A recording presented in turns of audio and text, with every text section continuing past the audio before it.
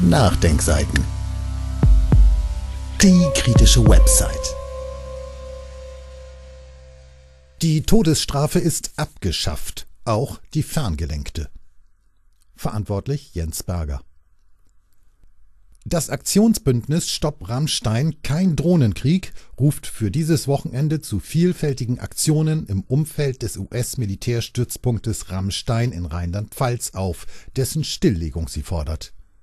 Das von dort aus organisierte außergerichtliche Töten von Bürgerinnen anderer Staaten auf deren Territorien verstößt dabei nicht nur gegen die Menschenrechtscharta der UNO und gegen das Völkerrecht, sondern auch, wenn das Verbrechen von deutschem Hoheitsgebiet ausgeht, gegen unser Grundgesetz, heißt es im zugehörigen bundesweiten Aufruf.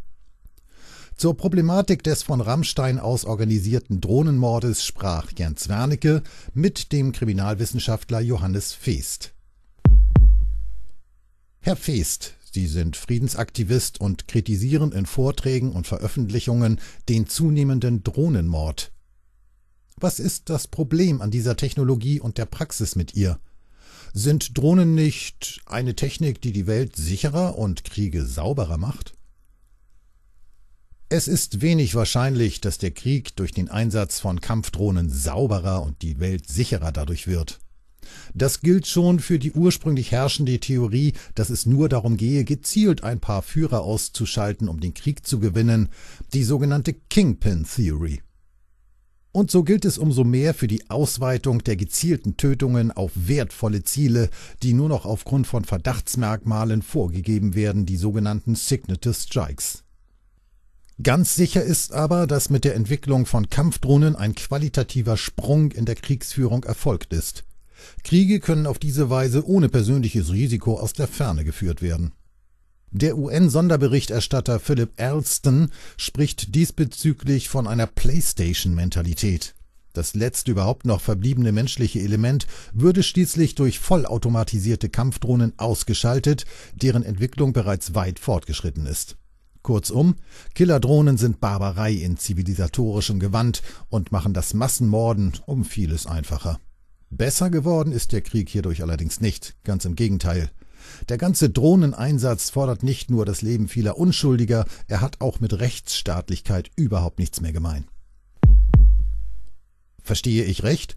Drohneneinsätze sind für Sie per se extra legal? Sie heben sozusagen die Gewaltenteilung auf und führen die Todesstrafe durch die Hintertür wieder ein? Nein und ja. Nein, Einsätze von Angriffsdrohnen sind nach geltendem Kriegsvölkerrecht nicht per se extralegal, soweit sie von Kombattanten erfolgen und sich gegen Kombattanten richten. Schon das ist aus den oben erwähnten Gründen, ich sage nur PlayStation-Mentalität, abzulehnen und die Forderung nach einem Verbot mindestens vollautomatischer Kampfdrohnen wird daher auch zunehmend erhoben. Auch sind im Rahmen des sogenannten Krieges gegen den Terror die Grenzen des traditionellen Kriegsvölkerrechts zunehmend unklar geworden. Wo überhaupt findet ein bewaffneter Konflikt statt? Wer sind die Kombattanten in Afghanistan, Pakistan, Jemen, Syrien etc.? Gehört auch die CIA zu den Kombattanten? Kann man überhaupt noch zwischen Kombattanten und Zivilisten unterscheiden? Es werden ja auch immer mehr Personenkategorien einfach als Kombattanten definiert, um später keine zivilen Verluste vermelden zu müssen. Und deshalb zugleich ja, die gezielte Tötung von Personen, die von den USA auf Hinrichtungslisten, sogenannten Kill-Lists, gesetzt werden, spricht jedem rechtsstaatlichen Verfahren Hohn. Eine solche Praxis hebelt in der Tat die Gewaltenteilung aus. Wegen genau so etwas haben die Vereinten Nationen bereits 1989 Prinzipien zur Verhütung und Untersuchung außergerichtlicher, willkürlicher und summarischer Hinrichtungen beschlossen. Seit Beginn der gezielten Tötung durch Kampfdrohnen haben die Sonderberichterstatter derselben diese Prinzipien nun auch auf Kampfdrohnen angewandt und diese Praxis entsprechend entschieden verurteilt. Geändert hat das leider nichts. Ist denn bekannt, wie viele Menschen bisher durch Drohnen getötet worden sind? Und ist bekannt, wie viele hiervon Zivilisten und Unschuldige waren? Es gibt keine exakten Zahlen über die Drohnenopfer, schon gar keine offiziellen. Soweit offizielle Zahlen vorliegen, wird die Zahl der getöteten Zivilisten systematisch unterschätzt, indem alle Männer im wehrfähigen Alter von den USA für Kombattanten erklärt werden, wenn nicht das Gegenteil klar belegbar ist. Umso wichtiger ist die eindrucksvolle Arbeit des Bureau of Investigative Journalism, welches seit Jahren Daten über Drohnenangriffe sammelt und im Internet zur Verfügung stellt. Danach wurden allein in Pakistan seit 2004 zwischen 2500 und 4000 Personen durch Drohnen getötet. Darunter befanden sich zwischen 500 und 1000 Zivilisten und etwa 200 Kinder. Hinzu kommen entsprechende Zahlen für Afghanistan, Somalia und Jemen und Verletzte in ähnlichen Größenordnungen. Wie bewerten Sie diese Zahlen? Diese Zahlen sind Schätzungen aufgrund von Zeitungsberichten und lokalen amtlichen Bekanntmachungen. Sowohl die USA wie auch England weigern sich, Zahlen über die Opfer solcher Angriffe herauszugeben. Die Sonderberichterstatter der UNO verlangen daher heute in erster Linie von den Regierungen Transparenz. Dies ist auch die Forderung, die am 13. Mai 2015 von einer Reihe bekannter NGOs in einem offenen Brief an Präsident Obama erhoben wurde. Darin wird er aufgefordert, ein systematisches und transparentes Verfahren der Nachuntersuchung solcher Angriffe einzurichten, dessen Ergebnisse öffentlich gemacht und mit einer angemessenen Entschädigung für die Opfer verbunden werden sollen. Im Anhang des offenen Briefes finden sich zehn Beispiele von Drohnenangriffen, bei denen ausschließlich oder mehrheitlich Zivilisten Opfer waren. Und falls Sie sozusagen eine inhaltliche Bewertung meinen, jedes einzelne Opfer ist eines zu viel – Drohnen gehören geächtet und das Morden mit ihnen muss ein Ende finden, ganz klar. Wie ist es aber nun mit den gezielt Getöteten? Bei wie vielen von diesen vermeintlich schuldig Hingerichteten ist eine Schuld wirklich nachgewiesen worden? Bei keinem einzigen. Denn dazu bedürfte es genauer Ermittlungen und eines hierauf beruhenden gerichtlichen Verfahrens. Es handelt sich insofern um eine massenhafte Umgehung rechtsstaatlicher Verfahren. Dabei müssten diese Verfahren sogar besonders streng sein, wenn an ihrem Ende die Todesstrafe verhängt werden kann. Wenn dem aber so ist, wieso regt sich kein juristischer Widerstand? Juristischer Widerstand regt sich dagegen sehr wohl. Er ist aber bisher weitgehend auf die Literatur beschränkt. Generell tut sich die Justiz aber schwer mit der Behandlung gezielter Tötungen durch Drohnen. Dabei kann man verschiedene Argumentationen feststellen.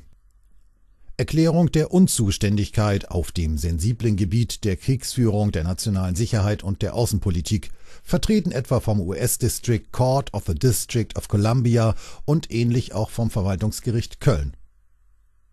Rechtfertigung der gezielten Tötung mit Hilfe des Kriegsvölkerrechts, etwa durch den Generalbundesanwalt.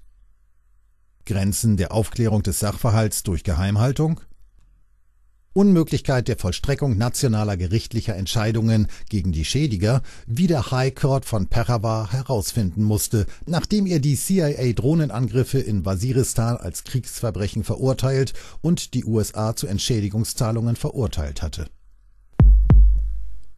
Wie kann dem Drohnenmorden denn Einhalt geboten werden? Die Justiz wird den Friedensbewegten die Arbeit ja hier nicht abnehmen, wie es scheint. Was also tun? Es scheint mir weiterhin sehr sinnvoll, die Justiz durch Strafanzeigen und Musterprozesse zum Einschreiten zu veranlassen. Dazu bietet nicht zuletzt das relativ neue deutsche Völkerstrafgesetzbuch Anknüpfungspunkte. Man sollte sich aber keine Illusionen machen, dass dies zu schnellen Erfolgen führt. Die Juristen operieren nicht in einem luftleeren Raum. Zusätzlich muss daher die Zivilgesellschaft auf das Problem aufmerksam gemacht und mobilisiert werden. Einige der großen internationalen Nichtregierungsorganisationen wie Amnesty International oder Human Rights Watch haben das Thema bereits aufgegriffen und auch auf nationaler Ebene ist bereits eine erhebliche Mobilisierung und Vernetzung zu verzeichnen. Gibt es spezielle Argumente, die sich gerade in Deutschland zur Mobilisierung anbieten? Mir fällt auf, dass die Abschaffung der Todesstrafe in Deutschland und in Europa bisher kaum als Argument benutzt wird. Wir sind da aber einen Schritt weiter als die USA, indem wir gewissermaßen in einer todesstrafenfreien Zone leben.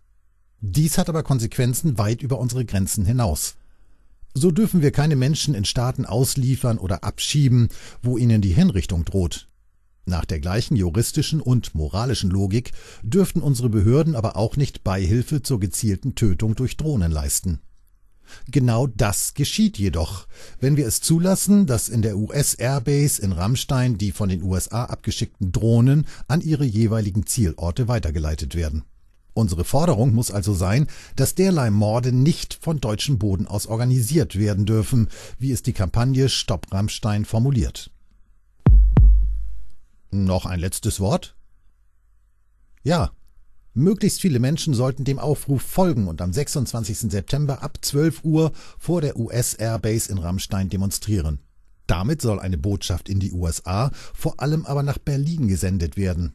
Ich werde mit einem Schild dabei sein.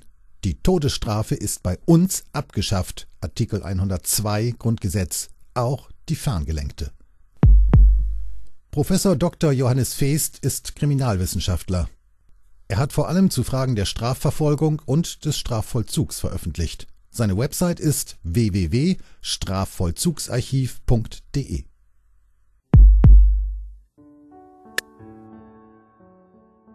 Dieses Audio konnte nur entstehen, weil zahlreiche Leserinnen und Leser die Nachdenkseiten fördern und durch Spenden unterstützen. Wenn Sie auch etwas tun wollen, klicken Sie einfach den entsprechenden Button auf unserer Website an. Wir freuen uns über jede Hilfe.